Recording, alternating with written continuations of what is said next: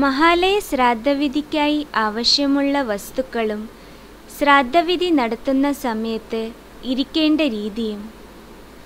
മഹാലയ ശ്രാദ്ധത്തിനായി ആവശ്യമുള്ള വസ്തുക്കൾ വിധികർമ്മങ്ങൾ നടത്തേണ്ട രീതിയെക്കുറിച്ചുള്ള പുസ്തകത്തിൽ നിന്നോ കർമ്മം നടത്താൻ ക്ഷണിക്കുന്ന പുരോഹിതനിൽ നിന്നോ വാങ്ങുക സാധിക്കുമെങ്കിൽ എല്ലാ സാമഗ്രികളും ഒരു ദിവസം മുമ്പ് തന്നെ തയ്യാറാക്കി വെക്കുക. പൂജയ്ക്കായി സാധാരണ ആവശ്യമുള്ള വസ്തുക്കളോടൊപ്പം തന്നെ ശ്രാദ്ധവിധിക്കു വേണ്ടി ചില വിശേഷ വസ്തുക്കൾ അതായത് നെല്ല് കറുത്ത എള്ള് കയ്യുന്നി അല്ലെങ്കിൽ ചെറുള തുളസിയില ഇവ ഉപയോഗിക്കുന്നു. കർമ്മത്തിനായി രണ്ട് ബ്രാഹ്മണരെ ക്ഷണിക്കുന്നു. പിതൃസ്ഥാനത്തുള്ള ബ്രാഹ്മണനെ വടക്കോട്ട് ദർശനം ചെയ്യുന്ന രീതിയിൽ ഇരുത്തുന്നു. ദേവസ്ഥാനത്തുള്ള ബ്രാഹ്മണനെ കിഴക്കോട്ട് ദർശനം ചെയ്യുന്ന രീതിയിൽ ഇരുത്തുന്നു. ശ്രാദ്ധകർത്താവ് ആഗ്നേയാഭിമുഖമായി ഇരിക്കുന്നു. കർമ്മം ഉപദേശിച്ചു തരുന്ന പുരോഹിതന് ഇരിക്കുന്നതിനു വേണ്ടി ഒരു വശത്തെ സ്ഥാനം നീക്കിവെക്കുന്നു. പ്രധാന കർമ്മം ചെയ്യുന്നതിന് മുമ്പ് ചെയ്യേണ്ട ചില കാര്യങ്ങൾ. ശ്രാദ്ധകർത്താവ് ശ്രാദ്ധവിധി സമയത്ത് വെള്ളമുണ്ടും വെള്ള ഉത്തരീയവും ഉപയോഗിക്കുക. ആചമനത്തോടെ വിധി ആരംഭിക്കുക.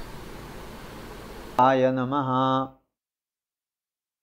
ഗോവിന്ദായ നമ. അതിനുശേഷം ശ്രാദ്ധകർത്താവ് ശരീരത്തിലെ വിവിധ ഭാഗങ്ങളിൽ ഭസ്മം തൊടുക. കയ്യിൽ ദർഭയുടെ പവിത്രകം അണിയുകയും ശരീരത്തിന്റെ വിവിധ ഭാഗങ്ങളിൽ ദർഭ ധരിക്കുകയും ചെയ്യുക. ഇതിനുശേഷം ദേശകാലം അതായത് വിധിയുടെ കാലത്തിന്റെ വിശേഷണം ഈശ്വരനോട് നിവേദനം ചെയ്യുക. ദ്വാദശാന്തിഥൗ ഗുരുവാസരെ ആശ്ലേഷാദിവസനക്ഷത്രെ വിഷ്ണുയോഗേ വിഷ്ണുകർണേ സർവഗ്രഹേഷു यथा യത്ര രാശിസ്ഥാനാനി एवं ഗുണവിശേഷേണ വിശിഷ്ടായാം പുണ്യതിഥൗ പിന്നീട് വിധിക്ക് വേണ്ടി സങ്കല്പം ചെയ്യുക. മഹാലയ സമയത്ത് ദുരിലോചനൻ എന്ന വിശ്വേദേവനു വേണ്ടിയാണ് സങ്കല്പം ചെയ്യേണ്ടത്. അതിനുശേഷം അപസവ്യം ചെയ്ത് അതായത് യജ്ഞോപവീതം വലതു തോളിൽ ഇട്ടുകൊണ്ട് പിതൃക്കൾക്ക് വേണ്ടി സങ്കല്പം ചെയ്യുക.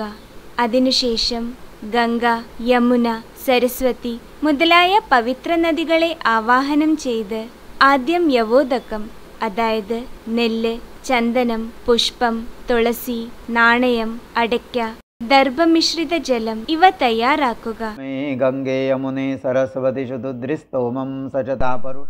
ഇതേപോലെ തിലോദകം അതായത് കറുത്ത എള്ള് ചന്ദനം പുഷ്പം ചെറുള നാണയം അടയ്ക്ക ദർഭമിശ്രിത ജലം തയ്യാറാക്കി മന്ത്രോച്ചാരണം നടത്തി മന്ത്രപൂരിതമാക്കുക.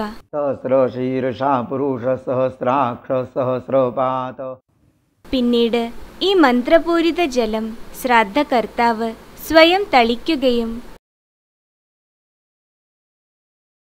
പിന്നീട് അതുകൊണ്ട് സ്ഥലത്തെ ശുദ്ധീകരിക്കുകയും ചെയ്യുക. നെല്ലും കറുത്ത എള്ളും മിശ്രണം ചെയ്ത വെള്ളം അതായത് യവോദക്കവും തിലോദക്കവും ഇനി മുമ്പോട്ടുള്ള ഓരോ വിധിയിലും ഉപയോഗിക്കുന്നതായിരിക്കും. ശ്രീ ഗുരുദേവ ദത്ത. ശ്രീ ഗുരുദേവ ദത്ത. ശ്രീ ഗുരുദേവ ദത്ത.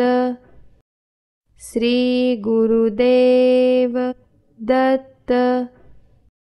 श्रीगुरुदेव दत्त। श्रीगुरुदेव दत्त। श्रीगुरुदेव दत्त। श्रीगुरुदेव दत्त।